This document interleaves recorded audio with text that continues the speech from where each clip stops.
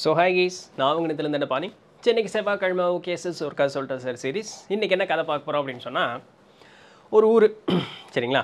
அந்த ஊரில் ஒரு பெரிய ஒரு வீடு இருக்குது நல்ல ஒரு எப்படி ஒரு ஜமீன்தார் வாழ்ந்த எப்படி இருக்கும். அந்த மாதிரி ஒரு பெரிய ஒரு வீடு இருக்குது அந்த வீடு பார்த்திங்க அப்படின்னு சொன்னால் ஒரு அஹ், புறணமைக்காமல் சீர்படுத்தாமல் ஒரு மாதிரி இப்படி பாழஞ்ச ஒரு நிலமையில இருக்குது அந்த அந்த வீட்லேயும் வந்து ஆட்கள் வாழ்ந்துட்டு இருக்காங்க. ஒரு கணவன் மனைவி பிள்ளைகள் அப்படிங்கிறவங்க வாழ்ந்துட்டு இருக்காங்க. ரொம்ப ஏழ்மையான ஒரு நிலையில் இருக்காங்க.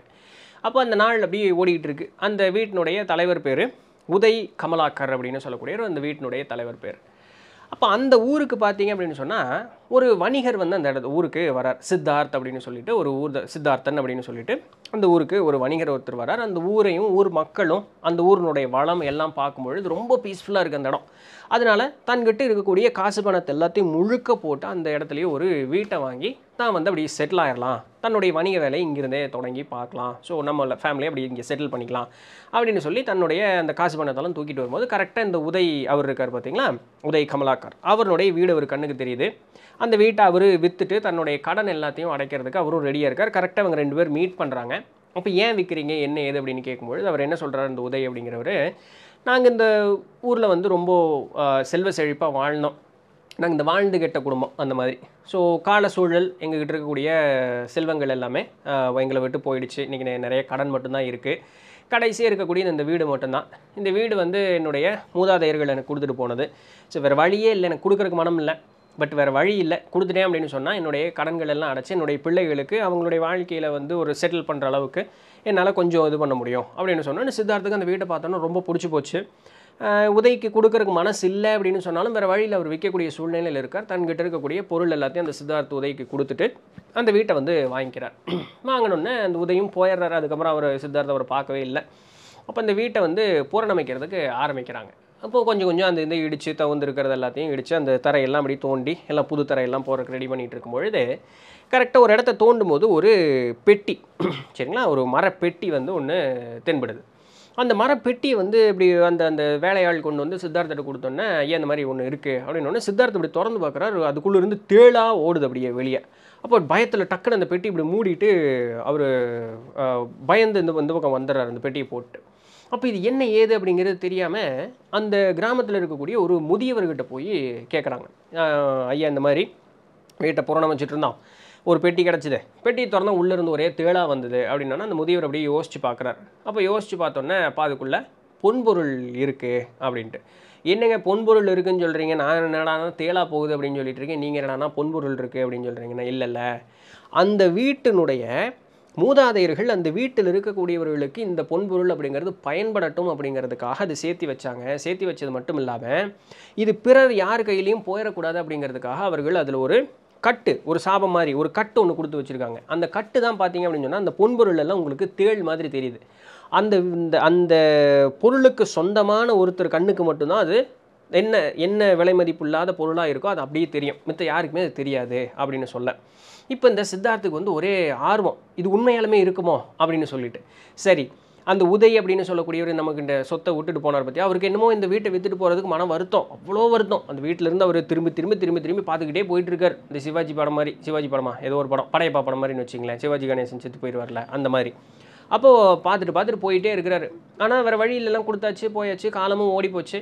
இந்த சித்தார்த்தன் என்ன பண்ணுறாருன்னா ஒரு அந்த மார்க்கெட்டில் ஒரு கடையெல்லாம் போட்டு நல்ல செல்வ செழிப்பாக நல்லா இருக்கார். ஆனால் சித்தார்த்தன் என்ன பண்ணுறாரு ஒரு நாலு தேளை பிடிச்சி கடையினுடைய நாலு முக்களை கட்டி வச்சுருக்காரு. அப்போது கடைக்கு வர்றவங்க எல்லாருமே வந்து இது என்னப்பா தேடை கட்டி வச்சுருக்கேன் யாராவது பூச்சி புழுவு போய் யாராவது எடுத்து கட்டி வைப்பாங்களா? அப்படின்னோடனே சித்தார்த்தன் அதை யாரும் காதில் போட்டுக்கிற மாதிரியே இல்லை. சித்தார்த்தனுக்கு நல்லா தெரியும். பல மைல் தள்ளி போனால் தான் நல்ல பொருட்கள் கிடைக்கும். இந்த ஊருக்குள்ளே தாங்கடையில் தான் நல்ல உன்ன உத்தமமான ஒரு நல்ல பொருட்கள் கிடைக்கிது. மக்களுக்கு வேறு வழியே இல்லை. நான் தேள் இல்லை. பாம்பையே கட்டினாலும் அவங்க வந்து எங்கள்கிட்ட வாங்கி தான் ஆகணும் அப்படிங்கிறது அவங்களுக்கு தெரியும்.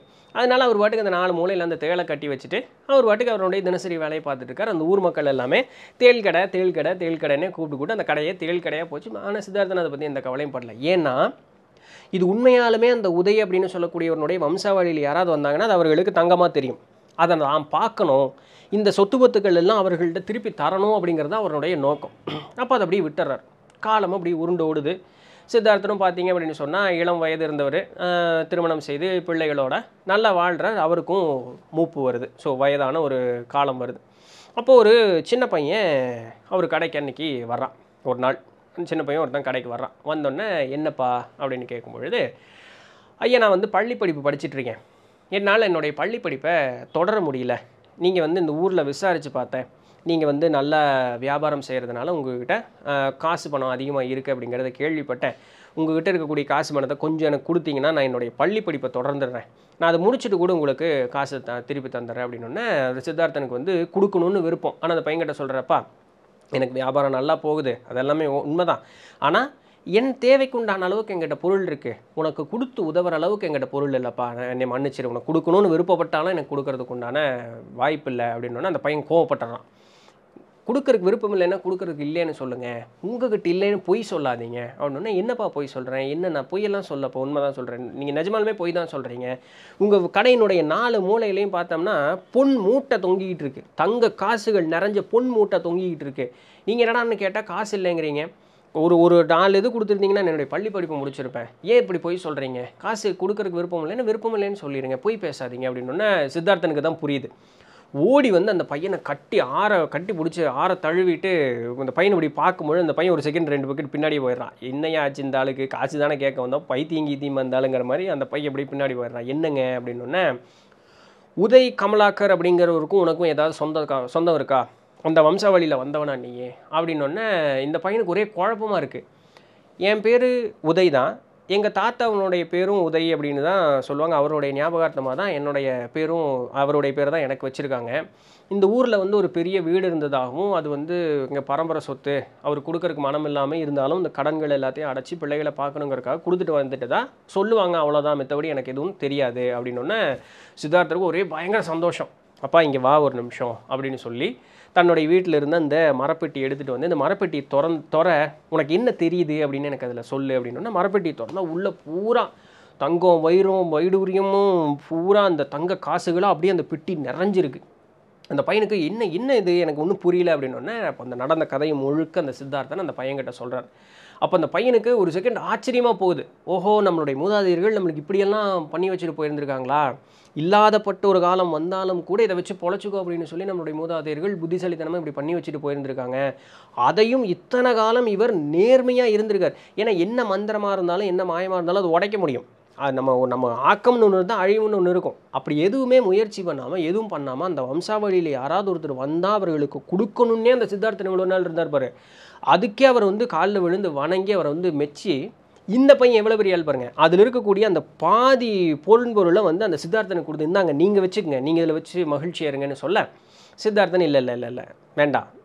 இது இவ்வளவு நாள் பாதுகாத்து வச்சு உங்ககிட்ட வந்து நான் பாதுகாப்பாக கொடுத்தேன் அப்படின்னு சொல்கிறதே எனக்கு மன நிறைவாக இருக்குது எனக்கு இதுக்கு இதுக்கு மேலே எனக்கு வேறு எந்த விதமான ஒரு பொன்பொருளும் எனக்கு நீ வந்து தேவையில்லை. இந்த காசு பணத்தை எடுத்துகிட்டு போய் நீ வந்து நல்ல வாழ்ந்து படித்து முடித்து நல்லா வாழ்ந்து செல்வ செழிப்பாக நீ வந்து வா அப்படின்னு சொல்லி அந்த சித்தார்த்தன் வந்து அந்த பையனை அனுப்பிச்சி வைக்கிறார். ஸோ இதோட இந்த கதை இப்படி முடியுது. இதில் என்ன அப்படின்னு சொன்னால் நேர்மையாக நம்ம இருக்கோம் அப்படின்னு சொல்லும் பொழுது அது ஒரு வகையில் நம்மளுக்கு நல்ல ஒரு வாழ்க்கையை கொடுத்துருது தான் பாருங்களேன் இல்லைன்னு இல்லை. ஆனால் நம்ம நேர்மையாக இருக்கக்கூடிய அந்த ஒரு காரணத்தினால அடுத்தவர்களுடைய ஒருத்தருடைய வாழ்க்கையும் நல்லா இருக்கு பாருங்களேன். இல்லை? ஸோ இது இது ஒரு ஒரு ஒரு இந்த இந்த தசாவதாரத்தில் சொல்கிற மாதிரி இந்த கேஆஸ் தேரி பட்டாம்பூச்சியினுடைய அந்த ஒரு சிறகடிப்புக்கும் இது எல்லாத்துக்கும் இது இருக்குன்னு சொல்கிறப்போ நம்ம ஒரு காரியம் செய்கிறோன்னா அந்த காரியத்தினுடைய தொடர்ச்சி அடுத்தவர்கள் முதல் கொண்டு அப்படியே பாதிச்சுக்கிட்டே வந்துக்கிட்டே இருக்குது இந்த பிராணிக் ஹீலிங்கில் சொல்லும்பொழுது சொல்லுவோம். நம்ம தியானம் பண்ணும்பொழுது நம்மளுடைய அந்த ஆறாவனுடைய அந்த விரிவாக்கம் எந்த அளவுக்கு இருக்குன்னா கூட இருக்கவங்க எல்லாத்தையும் அது பாதிச்சுக்கிட்டே இருக்கும். எப்படி? நல்ல முறையில். அப்போ அவர்கள் வந்து தான் எந்த விதமான ஒரு தியானமோ எந்த விதமான பயிற்சியும் பண்ணாமோ அவர்கள் ஒரு மனோநிறைவு அடைவாங்க. இப்போ நம்மளுடைய ஒரு சின்ன செயல் பிறரை வந்து எந்த வகையிலையும் பாதிக்கும். அப்போ நம்ம முடிஞ்ச அளவுக்கு நல்ல எண்ணத்தோடும் நல்ல செயல்களோடு இருக்கும் பொழுது அது அடுத்தவர்களையும் நல்லவர்களாக மாற்றுவதற்கு பேருதவியாக இருக்கும். ஸோ இதை வந்து அழகாக எடுத்துக்காட்டுறதுக்கு இப்படி ஒரு கதை வந்து நமக்கு சொல்லி வச்சுட்டு போயிருக்காங்க. ஸோ இதுதான் இன்றைக்கி உண்டான வீடியோ. பிடிச்சிருந்திருக்கும் இன்ஃபர்மேட்டிவாக இருந்திருக்கும் அப்படின்னு நம்புகிறேன் நாளைக்கு வேறு ஏதாவது ஒரு சுவாரஸ்யமான செய்தியில் சந்திப்போம். அது வரையும் தொடர்ந்து இணைந்திருங்கள். நான் உங்கள் நிலத்தில் பண்ணி நன்றி.